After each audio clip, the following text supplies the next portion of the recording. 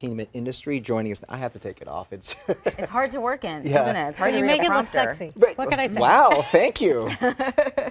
Coming from you, I- I'll take that I compliment. have high standards on that. you know, we wear these things and it seems so silly, but it seems sort of ludicrous that they're even suggesting this for an industry like that. What what's behind be, this? It would be funny if it wasn't so tragic. These, it, this is just one example of the many ridiculous regulations that are coming forth in the Cal/OSHA, the, the regulations that Cal/OSHA brought forward. Um, This is these- OSHA regulations, yeah, right? and, and they're OSHA regulations, but they, behind those is um, Mike Weinstein and AIDS Healthcare Foundation. They've really been pushing this through, really making it more of a political issue than one about worker safety and about performer safety.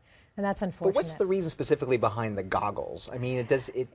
It's, I mean, you we know, can guess, but it seems so. it, it's you know there is really no reason No. behind the goggles. It's just part of one man's um, vendetta against the industry, and it's unfortunate. so there's no spike in HIV cases. no, actually, in the adult sorry, can you entertainment even get them from not wearing goggles?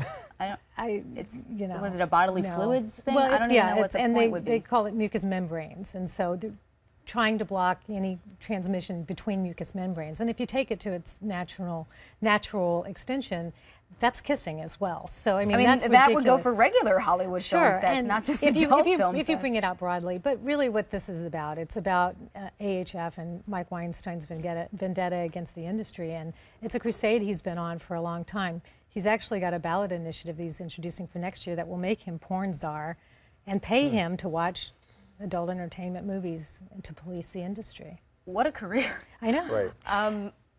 This, I mean, whether you're for or against porn or whatever, it is an industry here, and it seems like it's leaving. I mean, when the condom uh, ballot initiative came out, is am I wrong to say that uh, films that were filmed here in Los Angeles County dropped about 90 percent or No, something? Film LA reported that, and we're seeing people um, shoot outside of LA County proper, but a lot of people are moving out of state as well. And this is a multi-billion dollar industry of, of people who pay living wages. It's a very vital part of the valley and part of California's economy.